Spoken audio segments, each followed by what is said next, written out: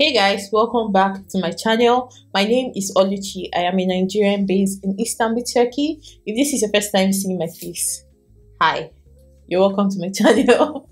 anyway, for today's video, I'm going to tell you the apps that have saved my life for the two years I've stayed in Istanbul, Turkey. Using that has saved my life a lot. Then keep watching. Please make sure you subscribe to our channel. Make sure you like, share, and I'll see you in my next one. Give me the light, give me that push, give me the bad man thing, give me that push, give me that thing that blow my mind, give me that thing that blow my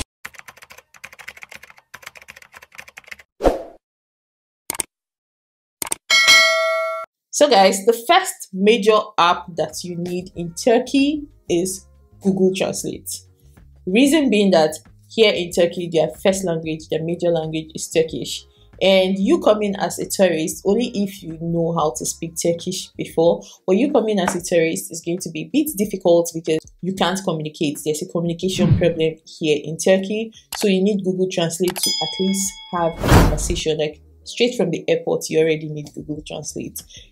Be it whether you're going to use the bus or they're coming to pick you airport pick up or you need to use taxi because that is literally going to save you a lot. So it's going to help with your communication with them. So yeah, that will be your first major app you need to download. Even before entering Turkey, you need that app. For the second one, I'm going to name it as movement or transportation.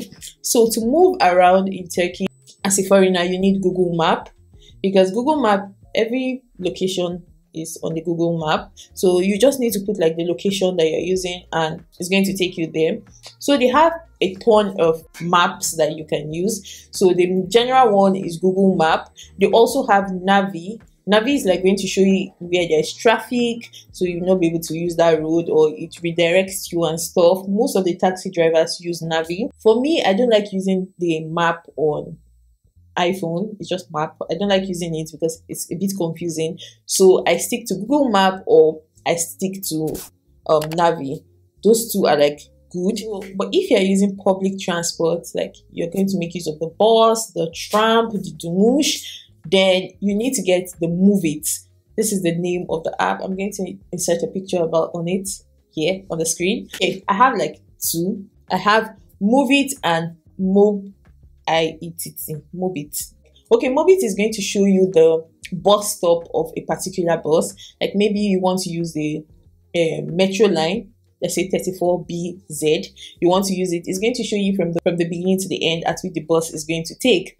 So that is why I use Mobit. It's going to like show you, okay, if I need to go to Marmara Park, or it's going to show you, okay, you can, the bus is going to stop at Beylikdüzü or Gazi Elliot, Beylikdüzü. Yeah, I think it's Beylikdüzü. The bus is going to stop at Beylikdüzü. These are the bus you bus stops you will pass through before you get to that part. So that's why I like Mobit. Mobit is going to show you all the bus routes for different buses. Then for Moovit, Move It is going to show you like a bus stop, the bus you need to take. If you put like a location where you want to go to, it's going to start, it's going to do from beginning to the end of the trip. Like it's going to show you buses that pass through there, shows you the time, and most times the time on Moovit are always accurate. The times on Move It and Google Map are always accurate. So if the bus tells you that it's coming at 1.30, it's even if it's going to be late, it's going to be late with maybe like two, three minutes, or it might even come two, three minutes earlier. But the bus times are always like accurate. So yeah, if the bus gets cancelled, if you refresh the app, it's going to tell you the bus got cancelled. So those apps like that Moovit really helped me the first time I moved here because I I was using a lot of bus like to go to school, going and coming back. So that Moovit app like really showed me around. Like it was true that app and the using the bus that was able to know some parts of Esenyurt that I know currently. So yeah, those apps are like good if you're going to make use of public transport. And when you want to make use of like personal transport, like you need all this pickup, they have Uber, they have BiTaksi, and they have iTaksi. So all of them work in Istanbul. What you do is just um, put your location and where you are going to. So I'm even show you an estimate of how much like um, the the transport is going to cost and yeah, if there's a taxi nearby, they will let you know. Most times the taxis always come very fast. When you tend to get tax, when you tend to see that there are no taxis available, are mostly during closing hours, like the rush hours at evening, like around 7 p.m. ish. And we're currently on lockdown. Our lockdown is by 9. So from 7 to 9, the taxis are like always busy. So nobody is like looking on the app to pick a, a customer because they can just be on the way and get customers. So yeah, those are the only time when the app is like busy. But if not, once you use I, I love using Uber because once you just use it in minutes, your taxi you, you'll be able to get taxi. So yeah, I prefer using an app to order taxi because I have had like an experience with a taxi man, which I just came downstairs and I, ah, okay, see taxi, let me just enter, let me not order taxi. And this taxi man stopped me on the way. Like he stopped me in the middle of the of a main line, like main road. He stopped me there in the middle. I had to come out from the taxi in, in the middle of traffic. I had to come out from the taxi because he was like he's no longer going. Even as I was in the taxi, he even called another customer so yeah, if you if I had ordered the taxi on Uber or BiTaksi or iTaksi, they dare not leave me on the way because I have to end. They have to end the trip, and once you enter, they start or end the trip. So they, there's no how they will drop you one place except I'm the one that say, oh, I need to stop here. That's when you stop me and end the trip. So I highly suggest you get your taxis from Uber or BiTaksi or iTaksi. All this hailing of taxis they're quite risky. Ah, I'm not ready. And at least if I lose something in the taxi or I get missing in the taxi, I shall know this is the taxi that I entered. So it's easier. So it's security wise. And those taxis, like for Uber, Uber will tell you that, oh, do you agree that you're going to wear nose masks because your driver too will be wearing nose masks? So in times of corona, it's security wise to use like ordered taxi than just hailing your taxi. So the next one is food, other groceries here, they have different, uh, they have Getir, the Migros Deliver, Carrefour delivers, Beam delivers, so they have a lot of um, grocery delivery apps. So those ones deliver groceries. They, they have some already made food like all the sandwich and some other stuff on their websites. They deliver water. The only thing they don't deliver is alcohol, but based on alcohol, there's always a, a what what they call it 7-Eleven. is that 7-Eleven? Well, let's just say 7-Eleven. There's always a 7-Eleven in an area. So it's just for you to get their WhatsApp number and they deliver alcohol. But all these Migros, Carrefour are like big supermarkets. They have alcohol in store, but they don't deliver alcohol. So aside from that, they deliver every other thing. So yeah, those apps can help you. Then if you want to order takeout, like food, takeouts to eat, the popular one is Yemek Sepet. This is the app it's called Yemek Sepet. And you also have another one, Tel Telga Gelsim, Tikal Gelsim, something like that. But on that app is mostly like McDonald's, Burger King, and all those stuff. But I've not checked, but at least for my location, it's mostly McDonald's and Burger King that delivers through that app.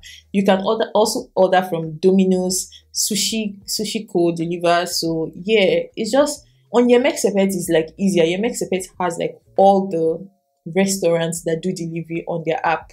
It's just based on your location. If they deliver to your location, then they will deliver to your location. But if you're looking for anything, Yemek Sepet is like the best place to check for it. The next one will be housing. For housing, I already spoke about it in my video that's about pop here. I use Sahibinden. Sahim Bide is like the best app for housing because it shows you like a lot. It shows you if this house is going to be empty or if it comes furnished, or it even shows if it's rented by the landlord or if it's rented by a real estate um, agent or just shows you everything about the house. It also upload pictures and stuff and it's kind of security wise because you just message them and you decide on which location to meet but you can also meet fraud there because I know I thought it was based on oh if you have some type of certificate before you can be able to post on Sahib Day, but Sahib Day is just like AliExpress because I know there was a period I wanted to sell off my camera. I posted on Sahib Day and almost got scammed. So yeah, I'm going to do a different story about that. So be careful, even if it's showing like agents and everything. Be careful when going there. I highly suggest you even go with someone if possible. Don't just go alone because the, the street is now red. Everybody's eye is tearing. So yeah, be careful when using the app. And also for housing, if you're not staying for a longer period, I think the best place for you to find houses would be on Facebook because there are people that to let their houses, there are people that rent out their houses when they go out, like maybe for vacation, or they just feel like renting out their apartment for just a week or so. So if you are just trying to stay for a while, even though the Sahim um, they have house apartments that you can rent daily or monthly and stuff, but on Facebook you tend to like meet the person or at Facebook Joshua has a place. Facebook Market is where you can find apartments too, but that's to be careful about it because you're not about to get killed. So also be careful about places like that. Then for shopping, when I mean shopping, like online shopping, we have Amazon Turkey, but Amazon Turkey, you, you will not find like a lot of stuff. It's as if Amazon Turkey is trying, Amazon is trying to come into Turkey, but we have like way bigger apps that people can shop through. So people don't really use Amazon like that. So the bigger apps, the Turkish apps that people use are Trendyol, they have GittiGidiyor, they have Hepsiburada, they have N11. Even on Sahibinden, they have apps like that. If you want to like shop for things like maybe you want to get a table or you want to get a side stool or even they sell everything television, camera, even all those Migros and other stuff, like Hepsiburada, I know now they have Carrefour in them. So yeah, those apps like tend to have everything. What I do now, I don't even order from AliExpress or Amazon or eBay anymore because I just search for what I want on my browser and it's going to show me based on my location if I can get it. So maybe if I want to get like a grape, um, get this oil online, I just search for grapeseed oil on my Safari and it's going to show me like if it has it in my location. So yeah, those apps are like easier because they deliver quite fast because you are already in Turkey, so there's no need to like go around like and there are things that when you see down and think of it, you be like, oh okay, I can get this on AliExpress for cheaper price. But when you go on AliExpress, it's actually cheap, but the time you have to wait to get it is a long time. I don't think there is anything that you research on these apps that you will not get. There's nothing I've searched for that I've not found. Even if I don't find it on this app, I'll find it in the other one. Most times it's on the app, but just because the app is in Turkish, you will not be able to find it like that. So that's why I mostly go to my browser to search for it before it leads me to the app. So yeah. Then Another thing is that we cannot do international calls here with their SIM card because they have, um, I know they have Turkcell, they have Türk Telekom, they have Vodafone. I don't know any other call service that they have. Those are like the three major ones they have. So, but the thing is that you can't do international call. Like when I was in Cyprus, we have Telsim. Telsim is like Vodafone. We had Telsim, and when you buy student package, they give you international call where you have maybe like 100 minutes a month to call international numbers. But here they don't have that. Even if they give you 100 minutes, it's just to call within Turkey. You can't call international numbers. So for if you have like international calls that you need to do and you can't call them on WhatsApp or Instagram or Facebook or something, then I think you should need, you need to download Telbo, Telbo or MobileVOIP. Those are like apps like you pay maybe like 10 20 dollars to it depends on the area you just select like, eh, for me i pay for the one calling to nigeria because most times if i want to talk to like my mom or i need an urgent thing to be done it's not every time that someone in nigeria is online on whatsapp so i can call their direct number. So that is why i have this app. It's just like i keep it there. It doesn't expire. It just expires when your credits are done. So i buy maybe like ten dollar and it depends on how long I use it. So it can last me for like at least one month, two months. It depends. So yeah, try getting Telbo. If you check Telbo or MobileVOIP, they have like a list of other service providers that you can use. But for me, I use MobileVOIP and I use Telbo. You buy the credits from Telbo, and the MobileVOIP is like the app that you use to make the calls. So yeah, these are generally all the apps that I think are really important. If you want to do online shopping, like from the mall, all of them have apps. Most of them have apps, or you can use their website. So, yeah, you don't necessarily need to go to the mall. They have online websites now, so you can order online. So aside from that, those are like the basic app that you need as a foreigner in Turkey. Whether be it a tourist or you are living here permanently or for a while, these are apps that you need for your day-to-day activity. I hope this video was helpful. If it was, give me a thumbs up and like, share, subscribe, and I'll see you in my next one. Bye guys.